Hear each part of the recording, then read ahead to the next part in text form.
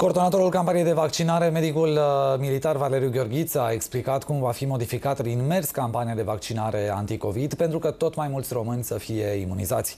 El a precizat că la state s-ar putea introduce programarea directă pentru vaccin, dar ia în calcul și alte modalități de imunizare inspirate de la alte state europene.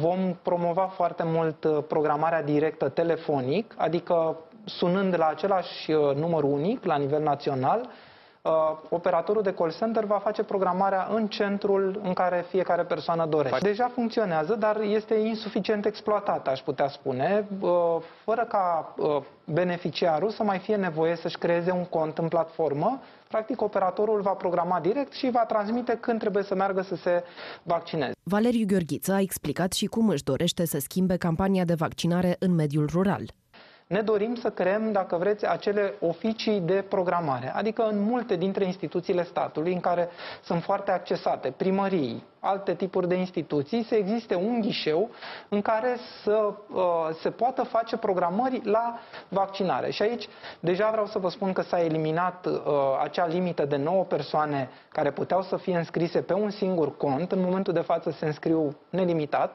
adică eu dacă îmi fac astăzi un cont pot să înscriu 1000 de persoane dacă vreau și în felul acesta aș face chiar un apel către toți cei care doresc să susțină campania de vaccinare să ajute persoanele care își doresc să se, să se vaccineze în această uh, programare, în această etapă de programare. Coordonatorul campaniei de vaccinare este de părere că sătenii ar trebui beneficia de programare directă, mai ales persoanele trecute de 60 de ani. Tot pentru mediul rural ne dorim să existe și posibilitatea de programare directă, adică fie dedicăm un interval orar în a doua parte a zilei în care oamenii se pot prezenta direct la vaccinare, în mod deosebit persoane de pildă peste 60 de ani. Există uh, diverse modalități pe care le-am văzut a fi implementate în alte țări în care campania de vaccinare a funcționat foarte bine și atunci putem să luăm și noi în calcul aceste modalități diferite. Bun.